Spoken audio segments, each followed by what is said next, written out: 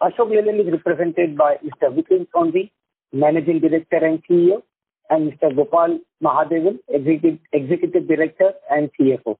We will start with opening comments from management and then and followed by Q&A. I would now like to hand over the floor to Mr. Vipin Sondhi for initial comments. Over to you, sir. Thank you, Chirag, and uh, namaste and good morning, uh, ladies and gentlemen. Gives me great pleasure to be in touch with you all once again through this post-result conference call, and I thank you very much for the interest shown in Ashok Leyland. Let me quickly run you through the Q3 performance. Happy to highlight that after witnessing uh, volume degrowth for eight continuous quarters, the MHCV truck total industry volume has registered a year-on-year growth of about 16% in quarter three. While the industry bus volumes continue to lag owing to social distancing and lockdown still in position, they are expected to recover with the gradual easing of restrictions. During Q3 FY21, year-on-year, our MHCV truck volumes have grown at almost twice the rate of the industry. Our truck market share for Q3 FY21 has thereby improved to 28.1% as against 24.9% in Q3 FY 2020. Sequentially, over Q2 FY 2021, our MHCV truck volumes have more than doubled in Q3 FY 2021, which is in line with the sequential TIV growth.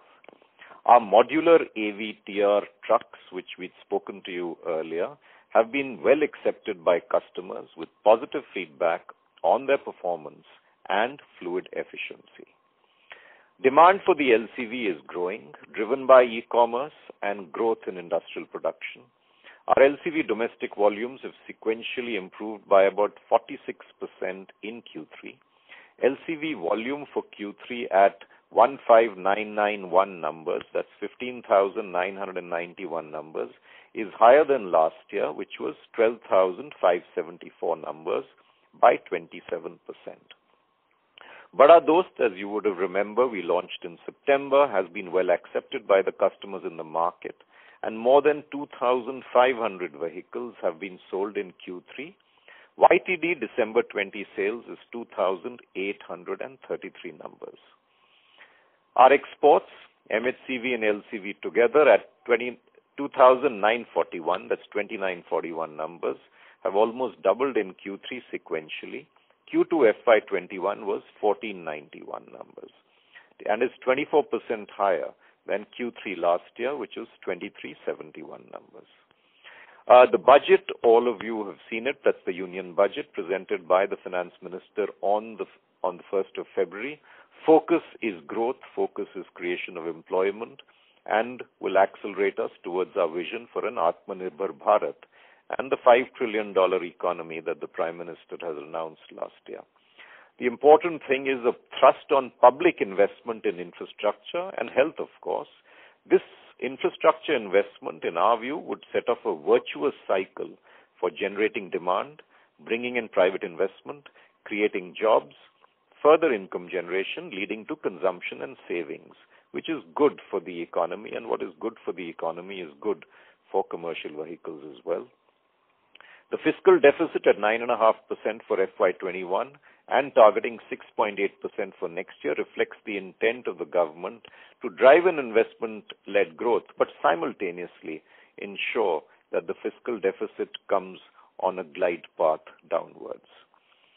The budget, having given an impetus to infrastructure across uh, road, rail, ports, et cetera, uh, will have a multiplier effect on the economy, and we are all aware of that. The vehicle scrapping scheme, which the Finance Minister mentioned in her budget for the auto industry, uh, says that CVs to undergo a fitness test, but further details are awaited from the government on incentives because she used the word voluntary scrapping policy. But we are in touch with the government to understand the details. The government is also planning to increase, as was announced, the share of bus-based public transport in urban areas and is going to launch a scheme of rupees 180 billion to support the augmentation of public bus transport services. This will enable the private sector, especially Ashok Leyland, which is strong, to to work and find ways of operating the 20,000 buses that is envisaged under the scheme. So this augurs well for the CV industry. I must flag two points. The global auto industry has been affected by the constraint in the supply of electronic control units, ECUs as we call them, owing to a global shortage of semiconductors. The Indian automotive industry has been no exception. We are closely monitoring the situation with our suppliers as this can have an impact on production if the constraints do not ease. Regarding the commodity price increases, particularly for steel, we are trying to partially negate the impact through price increases taken in quarter three as well as quarter four. Revenue for third quarter has grown by 70% sequentially to rupees 4,813 crores, which is 20% higher than Q3 last year, which was 4,017 crores. EBITDA has improved to rupees 254 crores, 5.3% in quarter three, up from rupees 80 crores, 2.8% in quarter two. The Q3 EBITDA is about 13% higher than Q3 last year, which was rupees 225 crores. Ashok Leyland has reported a PAT loss of rupees 19 crores for quarter three, as against a PAT loss of rupees 147 crores in Q2. This includes a one-time VRS charge of rupees 85 crores. We manufactured 17,911 MHCVs in quarter three, which is compared to 8,431 MHCVs during Q2, and have ended the quarter with MHCV inventory of 3,171 against 1,853 in Q2. The Q3 closing operating working capital was negative at 525 crores approximately, which is sequentially at the same levels of Q2. CapEx till December 20 was approximately 450 crores versus 869 crores in the same period last year. CapEx incurrence is towards the modular business program, the Phoenix variants, which came out of which came the Bada Dost, electric vehicles, CEV4, etc. Investments were at rupees 260 crores, rupees 90 crores in HLFL in April 20, rupees 150 crores in Optare in Q3, as against rupees 58 crores during the same period last year. The second quarter witnessed rupees 1,200 crores of net cash generation. In continuation, Q3 is also cash positive with approximately 160 crores of cash generated from operations. This was done through working capital reduction, which was used to repay short-term loans.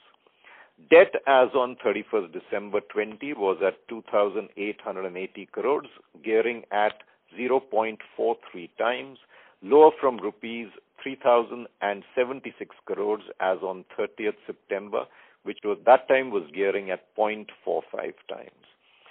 Finally, I'd like to thank you very much again for the interest shown in Ashok Leyland. With this brief overview of uh, our Q3 performance, I'd ask my colleague Gopal if he'd like to add a few points, and then we could get into the Q&A. Thank you very much again. Gopal. Thank you. Uh, thank you, Vipin, and uh, good morning to all of you. Thank you again for the interest in Ashok Leyland. I'll keep it very short. I know there are two, three points that all of you are looking forward to, so I thought I'll just share them with you straight away in terms of explaining the performance. Uh, one is material cost. I think material cost increases. You can see that uh, between uh, you know Q2 and Q3, the material cost percentage is seemed to have been higher at 74.4% as opposed to 71.2. I'll explain that. But if you were to look at it in the same period last year, 74.4 versus 73.5, it's marginally higher. The reason for that is twofold. One is you have one has seen raw material price increases happen. All of you know about the you know the pricing pressure that's happening in steel uh, that continues, and this was especially felt in Q3, and we were making price adjustments. In fact, uh, I would like all of you to know that in the fourth quarter again, Ashok Leyland has taken a price increase of nearly 1.5% to partially offset this material cost increase. This is one of the main reasons why you've not seen steel price increases happening at this pace ever over the last few years. The the quantum of increase and the percentage of increase has been very severe, and the speed of increase has also been high. This is one part. The second part of it is, of course, the mix itself. So if you look at it, month on month, the mix has been improving, and I would say deliberately is the word improving towards more and more MHCV being sold, because in Q1 and Q2, the share of non-MHCV business was higher. And as you all know, the non-MHCV businesses like aftermarket, defense, uh, LCV, uh, power solutions are all having higher gross margins than the MHCV business. But MHCV business is the main business of the company. We have seen a sequential improvement. I think what one will have to see is the performance holistically. So if you look at it sequentially, our market share has improved significantly from Q2 of the current year to Q3 of current year. We have Our revenues have increased over Q3 of last year. Our EBITDA margins are predominantly at the same level, despite a transition from BS3 to BS4 to BS6. And so we are actually seeing better price recovery. The products are performing exceedingly well. The fluid efficiency that customers are looking for is by far the best in the industry in most of the SKUs that we are offering. So I wouldn't get too, uh, you know, th- this is a quarterly event that can happen, but I wouldn't say that, uh, you know, we'll have to wait and watch how we are neutralizing it. We have done it in the past. We have taken price increases successfully and at the same time been able to make inroads into the market very efficiently.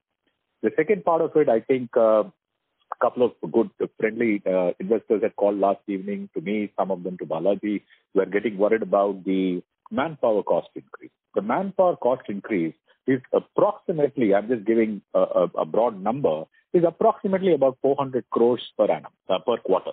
Okay, it's at about 400, 450. When you compare it with the same quarter last year, it appears that there is a huge jump. But uh, my dear friends, I would request you to just kind of uh, go back into the same quarter last year when we had mentioned that we had reversed some of the provisions that we had taken uh, for the in for FY 1920, and we thought that judiciously we will reverse it because we found that the volume trends were coming down.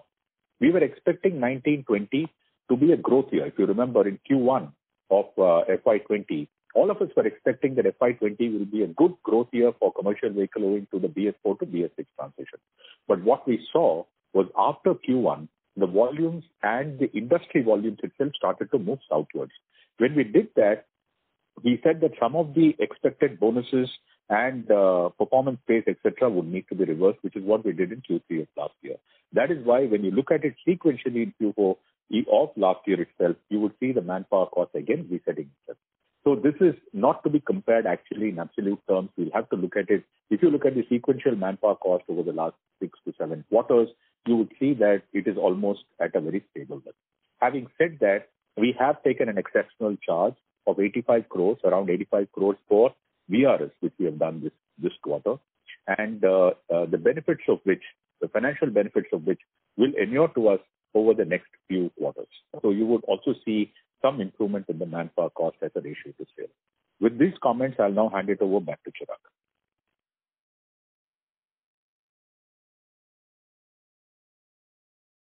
Hello, Chirag? Yeah. Thank you, Gopal. Uh, we can now start the Q&A uh, session. Uh, Rutuja, can you just give the announcement, please? Thank you very much. We will now begin the question and answer session. Anyone who wishes to ask a question may please press star and one on the touchtone telephone. If you wish to remove yourself from the question queue, you may press star and two. Participants are requested to please limit their questions to two per participant. If you have a follow-up question, you may rejoin the queue. Participants are requested to use handsets while asking a question. Ladies and gentlemen, we will wait for a moment while the question queue assembles. The first question is from the line of uh, Nishit Jalan from Axis Capital. Please go ahead. Uh, hi, sir. Uh, thank you for the opportunity. So my question is on a price increase in RM costs. Can you can you quantify what kind of commodity hit we saw in 3, uh, 3Q and what kind of incremental pressure can come in 4Q? Uh, just wanted to understand how this could impact margins uh, going ahead. Thank you.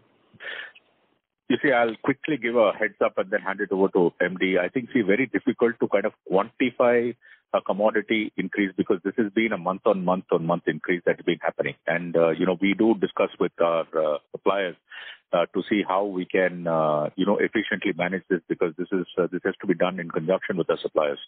Q4 appears to be that uh, steel prices are going to be even harder. You, all of you know this, right? So we are trying to kind of um, manage the margins, but I think what we have to look at in this business is, uh, I just wanted to set a context.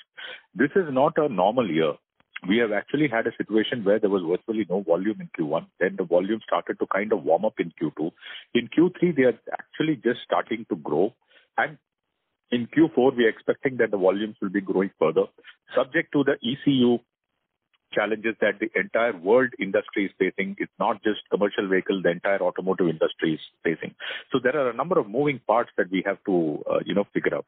As far as the NIMs are concerned, the net margin over uh, the material cost increase are concerned, actually what we have been able to do is predominantly manage it. But as we are moving, you know, as the shares of the domestic uh, truck and bus industry are going up, you would actually see that there is a realignment of the overall material cost as a percentage to sales. So, so one, if you were to compare Q2 with Q3, you would actually see that the share of uh, the uh, domestic, uh, the you know MHCV business has actually grown, and this is also one of the reasons why you're seeing this happening. But we will have to wait and watch as we move forward as to what Q3 is Q4 is going to offer. We are still in discussions with vendors, uh, but there appears that there could be a price increase but at the moment, I'm not able to confirm anything. I'm now going to hand it over to Gopal, I think you've said it very well. The the only thing that we will be doing is at all times ensuring that there are cost focuses inside to make sure that we are working on all aspects of cost and value engineering as well. So it's going to be a mix, but I think we'll have to wait and watch. We are in uh, constant contact but is there going to be uh, a price increase from a from a steel price increase? Yes, the steel companies are discussing with us, and we are working it through with them. So, sir, if I understand correctly, uh, we have not given any increase so far in 3Q, and bulk of the impact will probably come in 4Q. Is that a right assessment? No, I I don't believe I don't believe so. We are giving price increases in Q3. Let me be very clear. There are price increases that have been given in Q3, and there could be price increases that will be given in Q4. That is why the material cost as a percentage to sale has actually gone up. Okay. Thank you. So my second question uh, uh, is on uh, your scrappage policy that we keep hearing about. Just obviously, it's very difficult to say what government is thinking. But on the scrapyard side, do you think that we do have now or we will have enough capacity to kind of uh, uh, uh, at least manage the scrappage that will be required if if policy comes in the right direction? And is Ashok Leyland also looking to set up a scrapyard? Thank you. Okay. Again, very quickly, I think the scrappage policy, we will wait and watch what the announcements are. But whatever announcement that has been made till date is definitely favorable to the industry. There is nothing that has been unfavorable to the industry. There is an incentivization to scrap. Now, whether that will result in a mandatory scrapping, which we thought may happen, it may not happen. But at the end of it, I keep t- telling this uh, in each of the you know conference calls over the past so many years. What will happen is as you know the technology is evolving. There's a lot of uh, uh, you know first of all the emissions have completely changed. We are in BS6. The second one is there's a lot of electronics today in the the vehicle to make the vehicle operations more efficient right? So it's, it's becoming uh, very connected. Now, with this kind of a scenario, one can naturally expect that there will be a natural scrappage which the larger and the medium fleet operators would want to do and maybe take advantage of uh, whatever benefits the government is offering. As far as the scrappage, scrapyard is concerned, I don't think we are going to, at the moment, there is no large investment being planned, but we will certainly have very efficient tie-ups. Uh, MD, uh, for your words. You know, scrappage centers will come up. It's an opportunity for employment. It's an opportunity for circular uh, for a circular economy, etc. So it's very positive for the environment. We are we will probably have tie-ups as uh, as Gopal says. The important is thing is to see what the government finally comes out as a notification, and as as an industry body, we are seeking an incentive-based scrappage policy, but we still need to understand what the word voluntary means. Thank you, sir. So lastly, if you can just uh, share some details on uh, CapEx and investment plans. Uh, we have seen about 150 crores investment in Optare. Just wanted to understand, are there more investments which will be required in any of the subsidiaries or in Optare going ahead? How should we how should we look at it? Thank you so much. Well, uh, uh, you know, we have, Uh, I think I'll allow our MD to talk about the larger you know, strategy that we have with Optare, which is now being renamed as Switch. You must have all seen the you know, the press release that we had released, I think, in December. We had issued in December. And you know, we have some plans in place for that. As far as investments are concerned, we may require some very marginal investment maybe in Optare, not at the moment. Certainly not maybe in Q4. It doesn't look like there'll be anything required. And we may require to make some investment maybe in Q4 or Q1 in HLFL if that is required. But in HLFL, you must understand that if we were to make it, that is for growth of the business, and the company has been doing exceedingly well even under the current circumstances. So these are the two large, I would uh even that would not be very significant. We aren't too concerned about the quantum of investment. But MD, over to you. So just to respond, and and you know, Gopal knows Switch as well as anybody else in terms of how he's um, how how hard he's worked on it. Switch will be the global arm of Ashok Leyland for electric vehicles. And the idea is really to focus all our uh, resources, which we had in the U.K., as you know, in Optare, and in India, where we already have buses plying on the road in in two cities, to ensure that all of it comes together to create a truly global electric vehicle facility. So that is what Switch is all about. India, of course, will play a massive role because of simply the way the government policy is moving ahead, and we are absolutely alive to that. And this will be our global arm with a huge interest in India for the electric vehicle going forward. Thank you.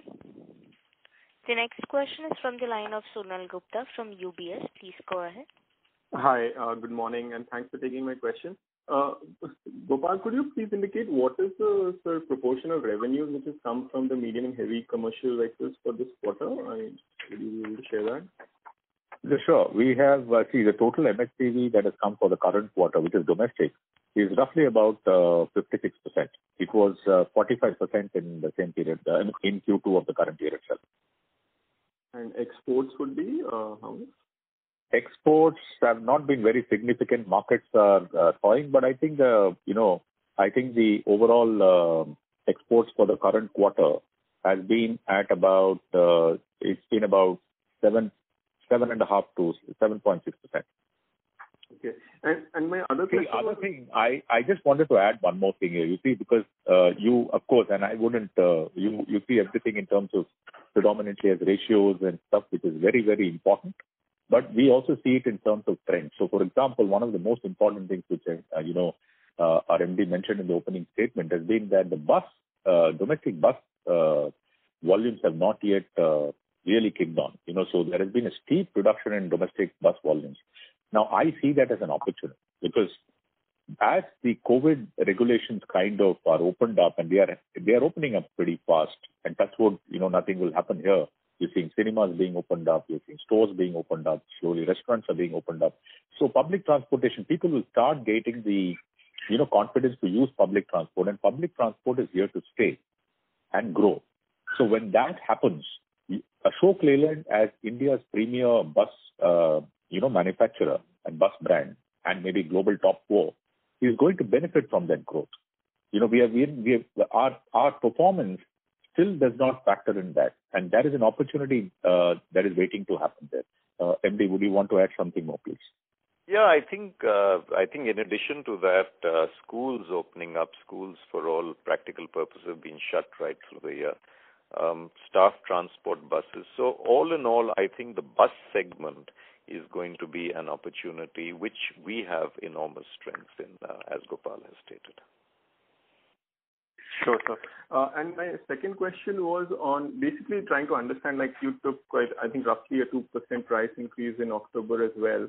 So, uh, what has been the retail trend been like right, in terms of discounts, et cetera? So have we uh, uh, and have you been able to sort of, have your net realizations also improved to the extent of the price increase, or are we seeing some increase in discounting as well? And also, if you could talk about which segments within the medium heavy commercial vehicle space are you seeing good growth and what's the situation? What are the retail trends like on the MHCV side? You see, I'll I'll just touch upon the discounting and then hand it over. In absolute terms, actually, the discounts have been growing because unfortunately, the industry seems to you know, uh, look at discounting as a way to reach the customer. So what we are doing as a strategy, which we have done, and you must remember, my dear friends, on 1st of April 2017, when we moved from BS3 to BS4, Uh, we were the only manufacturer to have taken a very large price increase and successfully gained market share as well. So for us, it is not an either/or. For us, it is going to be the strategy will continue to be profitable growth, better penetration, better offering to customers through technology and service and reach, and which is what is happening as we speak. So to your aunt's question, has the discounts gone up? It has. But what we are doing is we are raising the prices so that we are able to neutralize part of the discount increase and absorb part of the material cost increase. And would you want to add something? Yeah, I just wanted to add, thank you, Gopal. I think the AVTR platform, which is uh, really a state-of-the-art modular vehicle platform, it will take some time for customers to feel it, experience it. And as you know, this year started late, uh, started late by almost four months in that sense. And this is really an application-based platform. The customer can actually optimize his or her application by using modularity. Now, that has a benefit not only to the customer, but all along the value chain in terms of efficiencies of parts, efficiencies of the way our uh, dealers as well as our suppliers deal with it. We are getting very encouraging performance from a fluid efficiency standpoint. And fluid efficiency is a combination of diesel and the AdBlue that's put it vis-à-vis competition. So I think we will be able to further, as the customer gains experience of usage of the AVTR platform, uh, gain a lot of uh, experience, and therefore the benefits of the AVTR platform will start playing in, which then gives us the opportunity to also value sell more and more. So the focus, as Gopal said, it's not either/or.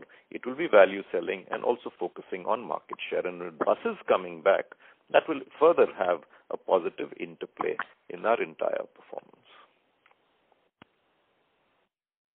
Thank you. The next question is from the line of Jinesh Gandhi from Motilal Oswal Financial Services. Please go ahead.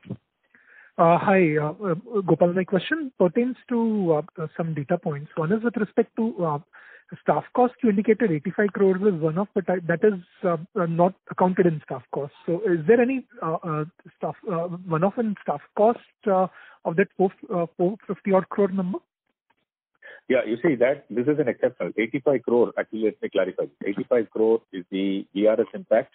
We have also had a mm-hmm. one-time uh, uh, you know, favorable impact of around 40-41 crores in terms of an EPCG benefit, and that is how it has been netted off and shown in the uh, in the results. This is one part. Okay?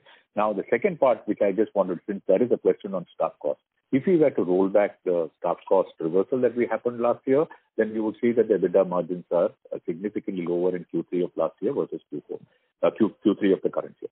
As far as the staff cost increase is concerned itself, there have been one-off, which is about maybe about 25-30 crores or so, which is on account of an outcome one of the VRS because there is leave encashment, etc., which need to be charged off.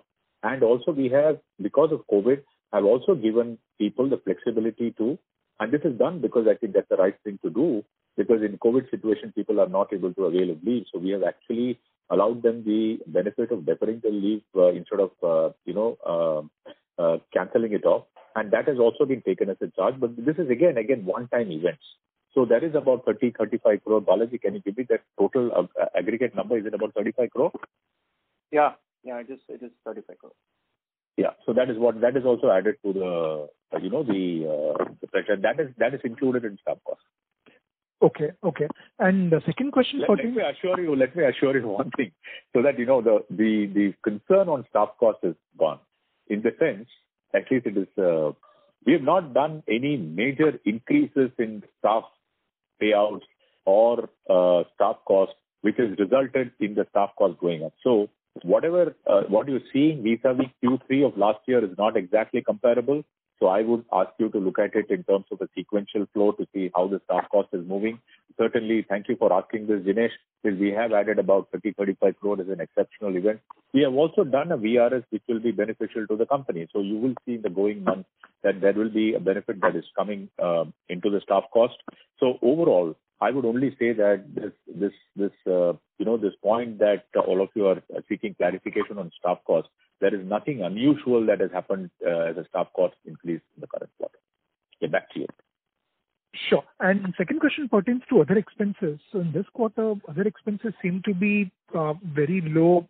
Uh, is this the sustainable run rate, or is there any element of costs which are yet to come back?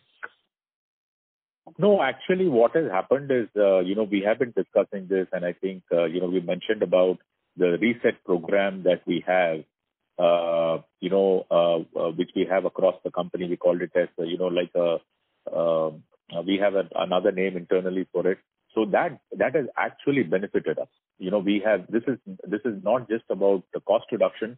This is about bottom line enhancement. So this is this is a program that is run with nearly 37 satellite war rooms we have uh, 250 people dedicated for this from various departments, from sales to marketing to product development to manufacturing to HR and of course finance.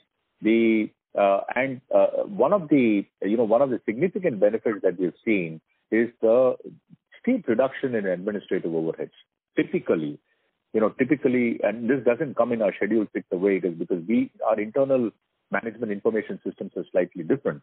But uh, if you look at it about two, three years back, our administrative overheads were in the range of something like about 800 crores. Today, when I'm talking to you, it may end up with something like 400 crores. Even between last year and this year, I think the savings could be something like nearly a third. So there has been a huge amount of effort.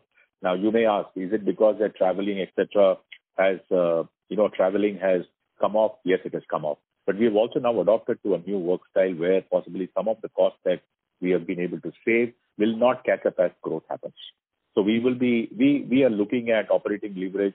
We would want to see that for every dollar or every rupee that is added on the top, how much is coming to the bottom line. And we are trying to resize our P&L accordingly. So the focus is not just on EBITDA margin. The focus is not just on profitability. The focus is also on seeing how do we drive operating leverage in a methodical manner uh, uh, in the company. Uh, MD, would you want to add something?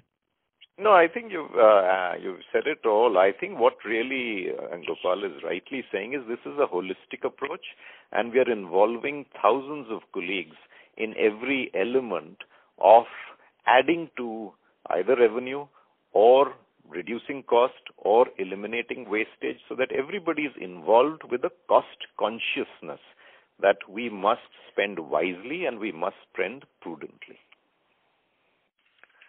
Thank you. The next question is from the line of Mihir Zaveri from Avendus Capital. Please go ahead. Yeah, thank you for the opportunity. I just wanted to ask a question on how is the demand situation, Gopal? Well, you said that there is some supply disruption, that's okay, but how do you see the demand situation panning out in Q4, and what's the current trend looking like? Uh, uh, that's the question uh, I, I want to know. And uh, if you can just, I just missed out. Sorry, uh, if you can just highlight what's the inventory situation as well. Thanks. Okay. I think as MD had mentioned, the inventory was at about 3,000 numbers. The demand is certainly quarter-on-quarter, we're seeing the volumes uh, going up. And as our MD had mentioned, and you know, with the opening up of the economy, and especially the initiatives that have been announced by the government, very clear agenda of investment-led growth. That's what I would say is is coming out of the budget. If these were to happen, we will actually see the demand for uh, trucks uh, going up. And when the economy and the COVID uh, opening up happens, you'll see buses also, the demand going going up. Over to you, MD. Yeah, I think uh, the demand go up. I think what's important is for the supply chain to go in tandem. And I think the big thing is this global uh, semiconductor uh, shortage, which is affecting uh, commodities all around the world. Uh, affecting, let's say, autos all around the world. But we've got to see how to manage that, and we are working very, very closely with the supply base. And sir, just to repeat, uh, just to clarify, 30, 35 crores, which Balaji sir mentioned, was one-off in the staff cost this quarter. Uh, is it correct, really? Yeah, that's right. Balaji, uh, would that be the right number, yeah? Yes, yes. Okay. You can tell the exact number if you want so that it's on the record. Uh, what is the exact number? 11 crores has been the VRS-related leave encashment which has been pushed in. And then another 21. Yeah. The rest is on the regular leave encashment uh, due to the postponement of the leave from uh, FY. Which uh, is another 21. About 30 crores or 31 crores or something like that. Thank you, sir. Thank you and all the best. Thank you. Thank you. The next question is from the line of Raghunandhan from Emkay Global. Please go ahead. Uh, thank you, sir, for the opportunity. Uh, uh, my first question was again on the demand outlook part. Cargo MHCVs in the recent months have been doing very well, especially tippers and ICVs. Can you comment a little bit on the trends in MAVs, tractor-trailers, and directional prospects ahead? Also, are you seeing the replacement demand coming back gradually? Well, uh, I think we just discussed this. Uh, You know, you are asking for a segment-wise uh, uh you know, thing. So all I would add is that uh, you know, with the infrastructure spend coming in, I think we're going to see a demand for tippers and multi-axle vehicles. So, and, uh, you know, this is where we see immediate thing. ICVs has been doing very well in the current scenario, and we have seen a high growth in intermediate commercial vehicles. We also will see the tractor-trailer business uh, you know, demand going up because, see, all of these cater to different parts of transportation. Right? So it, it's not like uh, and uh, different parts of transportation and different segments of the economy. So tipper is, you know, in one way or the other, directly connected with mining and road building. Tractor-trailers are required for transportation of extremely heavy uh, you know, cargo, including steel rolls and uh, you know, other equipment like that. Uh, we believe that we would see the growth happening in each of these segments, but possibly led by tippers. Uh, MD, would you want to add something? Yeah. Basically, you know, it's quite uh, quite interesting that each sub-segment, as you've asked, has its own trajectory, and there is a certain part of the economy which drives that trajectory. So Gopal has stated it all, and we are seeing now demand coming back in multi-axle vehicles where we are strong. The green shoots of that have started, and I'm sure the fleet owners will soon start looking at uh, replacing mm-hmm. their um, their stock. Ultimately, when an economy moves, trucks move. It's it's very very clear, and vice versa. So we see that going forward uh, to be uh, going into a positive demand cycle. Uh, thank you, sir. Uh, exports have also come back to positive territory in Q3. Uh, would it be recovery in underlying markets, or would it be the new products which have been launched in various markets? What is driving this recovery, and what could be the prospects ahead? I think if I were to put a two-by-two matrix, you would see new products and opening up of markets as a reason. So, you know, we definitely, as we have been sharing with you, and we did that in November last year when all of you were there, many of you were there in our uh, you know, engineering center. Uh, We said that if you were to look at Ashok Leyland today as compared to what it was uh, four years ago, we have a larger number of vehicles, including you know, we have just launched Dost Plus, and we have launched quite a bit of variants even in the MHCV segment. And more importantly, we also have both LHD and RHD. So we are you know, kind of uh, more ready to meet the requirements of the global market. And we are also seeing, as you rightly mentioned, we are also seeing the uh, uh, the countries opening up after this COVID crisis that has happened. And this is one of the reasons why we're seeing. We are positive about the growth in exports. Vipin, over to you. Yeah, we continue actually. It's it's a wider wider array of products, um, Gopal said, and uh, pap, you know packaged with RHD, LHD, so we have the focus. We recently launched the Gazelle and the Falcon in the Kingdom of uh, Saudi Arabia. One of the things that we are doing is a kind of market expansion through a revamping of our existing network of the retail footprint in uh, Africa. So we are working and appointing, as we speak, important distributors in certain clusters in Africa, which should then further enhance our position in markets which we are naturally inclined. India, not we as Ashok Leyland, but India is naturally inclined towards. So our thrust continues. Thank you. The next question is from the line of Kapil Singh from Nomura Securities. Please go ahead. Hi, Gopal. Uh, thanks for the opportunity. Uh, sir, I'll go back to the question on material cost, uh, and I'll explain in the context. Basically, what I'm trying, you know, the material cost is hitting the companies with a little bit of lead and lag. So, if you could quantify, you know, how much of the increase you have already seen in Q3. And, I know you can't forecast, but till January, how much of the increase is there over and above that? And what is the net increase in pricing in Q3? Uh, that would be really helpful.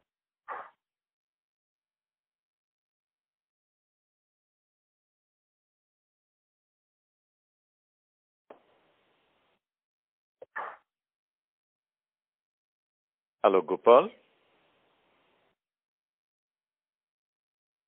I'm sorry, I'm on mute. I didn't realize it. Sorry, I was on mute. Sorry, Kapil. Uh, I I said that's a very, you know, uh, very difficult question to answer because uh, the quantification uh, is something that we are not able to do it on a month-on-month basis, and I'll tell you why. These negotiations with, uh, you know, especially on steel, don't happen on a month-on-month basis. They happen sometimes on a quarterly, sometimes on a half-yearly basis. What we see happening is that there is a price increase that is happening in the market, and different uh, customers of uh, the steel mills have different, Uh, you know, kind of pricing cycles. So what we do typically is when we are engaging with uh, the steel manufacturers, we are actually saying, "Can we now close this at particular price for the current quarter?" They come back maybe with a lag. So when there is a lag, we have to take some intelligent estimates of what we should be reporting as a price increase. So based on that, we factor in some of the cost increases and then, uh, you know, finally settle the price increases with the steel mills. It may be marginally way off, but one thing that appears to be there in the fourth quarter, and I'm not too concerned about it, because you see, uh, this is, that's why I said this company or this industry cannot be measured purely on a quarter-on-quarter performance. But if you look at it, we believe that in the fourth quarter, there is a further price increase that may happen on steel. And I cannot share that information, not because I don't have the information. This is too much of a strategic information that uh, of what will be the price increase that we will get on steel. It is not uniformly distributed, right? So it depends on uh, the demand, the the offtake that you have with a particular steel producer as opposed to another steel producer. So if there are larger relationships which have been happening over the years, obviously there'll be a favorable consideration. If it is not, then you may have to end up paying a little more. Sometimes what we are doing is we are also buying steel uh, from outside India in slightly larger uh, lumps, so that we can actually take a, you know, we are able to neutralize some of the price increase that is estimated in the near future. It's a very complex uh, activity. But having said that, directionally, what we are trying to do, and it is, it is, that we are trying to see how much of the price increase that is estimated in the fourth quarter will get neutralized by a price increase in the selling price. And within that, we are also trying to change the mix. Please understand what what's happening here, the fourth quarter. You know, MD had mentioned about the, uh, you know, the semiconductor challenge. Then we have the steel price, right? But we also are, with all of this, our teams are looking at how do we improve the mix so that we are able to deliver a better gross margin on the entire mix that we have. At the same time, there is a set of people who are working with the steel uh, vendors to see how much we can neutralize of the price increases by maybe having a little more extended contract, giving them offtake assurances. So it's a very complex uh, thing for which I can't really put a number. Uh, Vipin, would you want to add something here? No, I think you've said it uh, very well, Gopal. It's absolutely well stated. Thank you. Okay. Sir, secondly, could you talk about the financing situation in the market and also performance of Hinduja Leyland Finance? Yeah. So I will give the performance of Hinduja Leyland Finance, and, you know, company is doing well. As I had mentioned last time, the collection uh, efficiency is more than 90%. Uh, we are not, and so all the moratorium accounts, not all, I mean, I am the call, so I have to be very careful. I would say that, uh, almost all the moratorium accounts are doing, performing well. They are going back into payment mode. That's why you're seeing the collection efficiency being there. The gross NPA is 4.3%, the net NPA is 2.3%, the book is 26,600 crores. So their capital adequacy is about 16.6%. I think uh, they are doing very well. They have sufficient funding lines uh, tied up. Uh, you know, there are no issues on liquidity at all. And um, I must compliment the management team, you know, the um, the vice chairman, the managing director, the chairman of the board. I think it's being pretty well run. Thank you. The next question is from the line of Shyam Sundar Sriram from Sundaram Mutual Fund. Please go ahead. Yeah. Hi, sir. Uh, good morning. This is Shyam from Sundaram. Thank you very much for taking the question, sir. Um, my first question is, you did talk about the uh, production shortages. So, um, just a couple of um, uh, points on that, if you can please clarify, sir. So if you talk of, say, X volumes of production in Q4, FY 2021 and Q1, where would that X be, as we stand today, given your understanding of the Uh, ECU and the semiconductor shortages, uh, if you can give some perspective on that. Um, in relation to that, sir, uh, given the production shortages and the demand improving, um, underlying retail demand being strong, um, shouldn't the discounts and therefore the market operating price improve substantially on a quarter-on-quarter basis, Um, if you know the demand is high and the supply side is facing constraints per se? Uh, on these two points, if you can uh, please share your thoughts. Yeah. Uh, the only point is I didn't understand, Shyam, was I don't know whether if Vipin did, was I didn't understand your relation for Q4 and Q1. You said about a trend, so I wasn't very clear what you meant by the production. Until June. I was I was referring to until June, sir. I mean, generally what is being talked oh, about- Oh, until June. until June. Until June. Uh, see, I'm I'm just going to, uh, you know, kind of very quickly. See, at the moment, the challenge that we have, there is a further announcement, I think, that has been made uh, by one of the suppliers, uh, stating that they are not able to estimate what will be the India supplies. So I think that has come yesterday or today. And so we are... See, we are also in engagement. We ultimately, the shortage is not from our side, or it's not a unique situation, right? It's a global phenomenon. It's an India phenomenon. It's for automotives itself. So we are not able to kind of state what the production shortage will be. What we know is that the shortage is not insignificant, but the relevant companies are trying to see how to... And it is not just them, it is their own suppliers. Uh, it's a kind of a three-stage, four-stage uh, uh, process, which is actually resulting in the shortage. So, uh, the second part of it is with respect to your question, that given that there may be a shortage, uh, I mean, there could be a shortfall in terms of uh, satisfying demand, will the pricing improve? We'll have to wait, and what logic tells me it should, provided, you know, the buyers say, "No, let us wait for another quarter and buy." But otherwise, if they have a here and now demand for, say, for example, some of them have to quote for tenders, right? And if they have to quote for tenders, they prefer to have new vehicles. So which is why I say, in the medium term, if we are actually forecasting that the GDP is going to be one of the highest growth rates in the world, okay, then this will augur well for the commercial vehicle industry. Because, you know, again, I keep saying, uh, trucks do nothing but transport GDP. So if that is the situation, we are going to see the demand actually coming back, and hopefully by that time, I'm not able... This is not a forward-looking statement. Hopefully, by that time, a lot of things would have resolved, because we are seeing steps being taken to address the steel price increase. We are, uh, hopefully, the semiconductor shortage should also stabilize, and, you know, things can get back to normal, by which time the demand would have also started to grow. This is my overall view that I can give from sitting where we are, but, I'll now hand it to Vipin as well. Just to add, I think, you know, we're coming out of the pandemic, but we must realize that there is still volatility around in the world, you know, shortages coming in here, demand patterns going there. And we will continue to navigate through all of this, and we've got a great team to navigate. We've got very good products.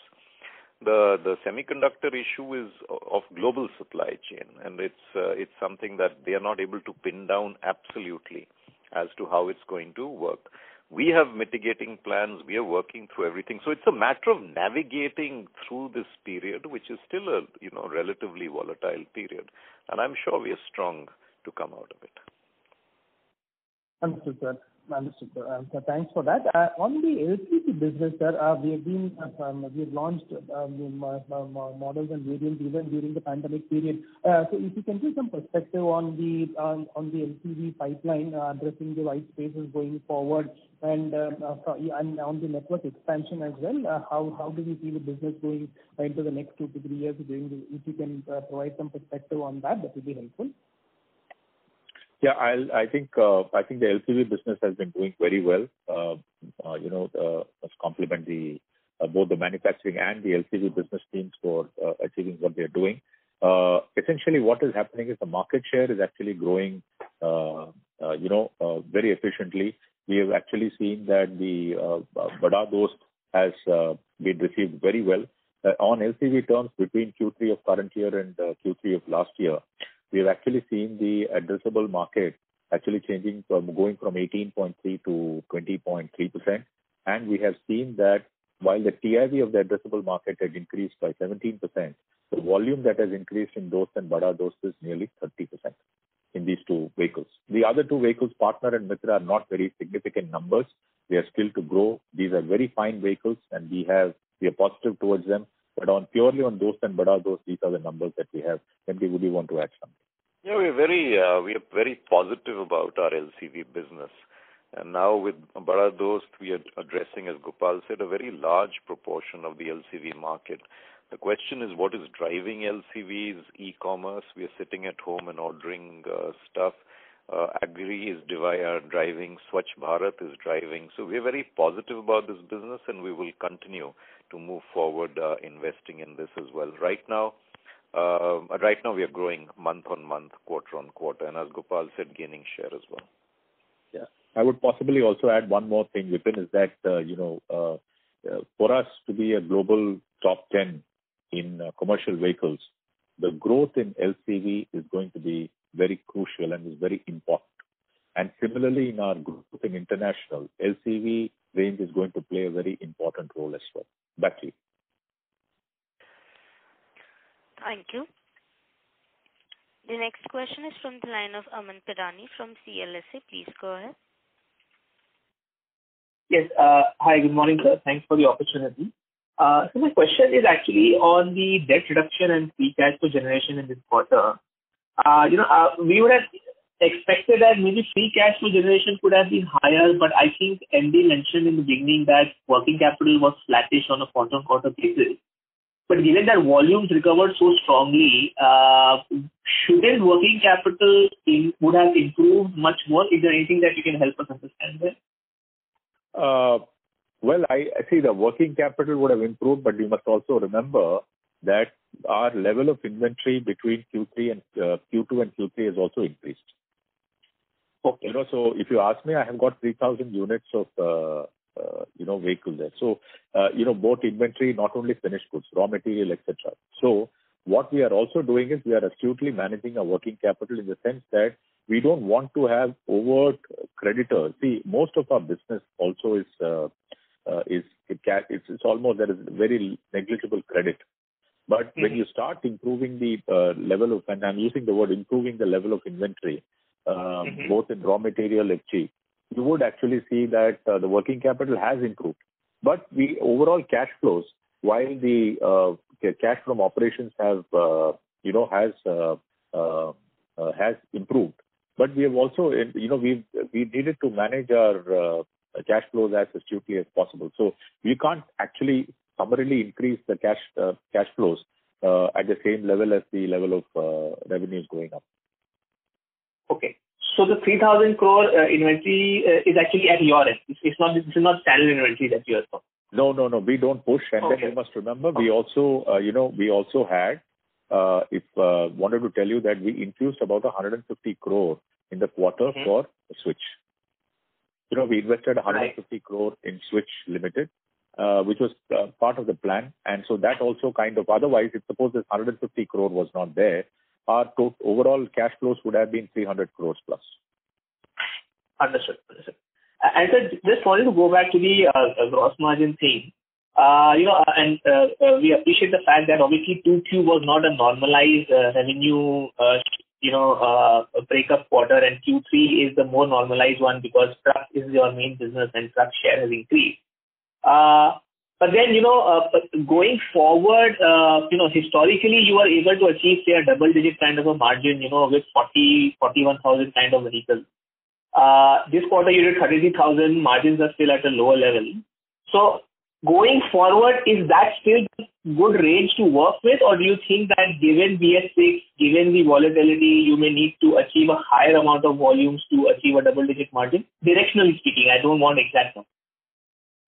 So when you say, uh, uh, when you look at uh, 33,000, you are telling both MHCV and LCV put together, right? Yes. Yes. I'm talking total company. Yeah, yeah. See, what happens is we must understand that Uh, there are two parts to this. Uh, in the past, when you calculated 33,000, the ratio of MHCV would have been significantly higher than the ratio of LCV. Right. Okay? So what happens is the overall revenue that you have mm-hmm. on the top line for a mm. 33,000 volume will be much higher than the revenue that you have today for 33,000 vehicles because LCV is playing a higher. That's why I said the share of MHCV is catching up. And uh, and uh, you know uh, hopefully, we'll keep increasing as we move forward because that is still our main business. Right. Not that LCV is not important. For us, just to kind of clarify, you know, in these calls, sometimes one tends to speak. All the businesses that we have are important to us. Each one is looked at as seriously as any anything else. But when we talk to, you know, to the outside world, we have to talk in terms of ratios.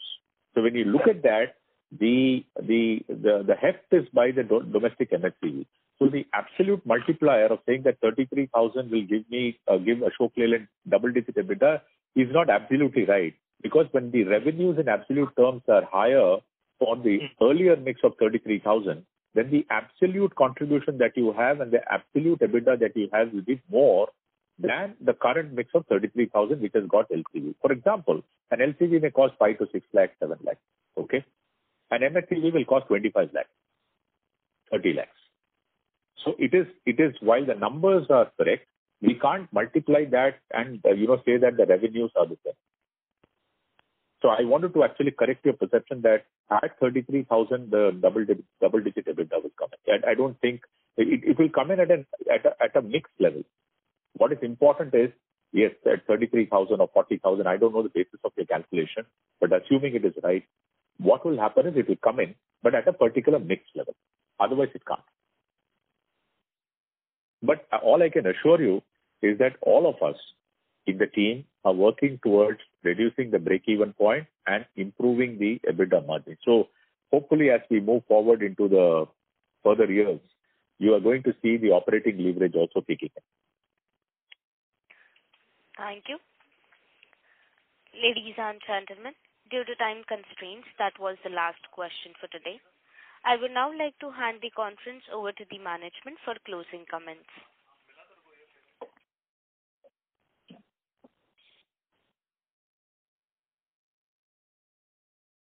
Hello? Gopal, you're going first? Yeah, go ahead. No, I thought Chirag is going to do the closing comments. Chirag? Okay. We are not able to hear Chirag. So thank you very much. I'm going to hand it over to MD very short, uh, uh, to our MD very shortly. Uh, thank you very much. All we can tell you is that you know, we are placing the right efforts in the company. One for revenue enhancement. Second one is the product launches that we've done in the current year have been very well received, and we will continue to you know, pursue launches at a steady pace to fill in the slots to address the the market better. LCV is a very important initiative. We believe that exports should start to open up uh, as COVID does. Our focus on middle line management continues. All of you know about this. And uh, you know, we'll have to wait through the uncertainty, of course, of the semiconductor. We'll have to, of course, face the challenges of steel price uh, increases. But I'm sure that uh, you know, we will we will continue to do that as we have successfully done in the past. Uh, uh, uh, Vipin, over to you. Yeah, I want to thank all of you for your sustained interest in the Ashok Leyland. Uh, this should continue. We are very focused on the bottom line as well as enhancing the top line growth both in the domestic market as well as internationally and some of our other allied businesses. What is extremely important is that the entire um, company is contributing towards uh, making sure the P&L is right size, as Gopal says, to ensure that we take operating leverage. We will continue to launch uh, new products. And the AVTR platform, without doubt, as it stabilizes, as the customer experiences it, will be a significant, uh, let's say, game changer in the way this is positioned. So we will always be technologically nudging our customer and nudging the industry to move forward. One last thing, the huge impetus on the digital play. Digital is extremely important to us. That will further drive not only efficiencies, but it's focused on the customer. What is it that we can make it easy for the customer to do business and easy for him to use all our products, both in aftermarket as well as in the sales. So digital is a big play with us. But with that, thank you very much for your interest in Ashok Leyland. Thank you. Uh, thank you, everyone, and uh, thank you, Mr. Sondhi and Gopal, for giving us the opportunity to take time out for the call. Have a great day, everyone. And Balaji, of course. Thank you. Thank you, Balaji. Balaji. Thanks.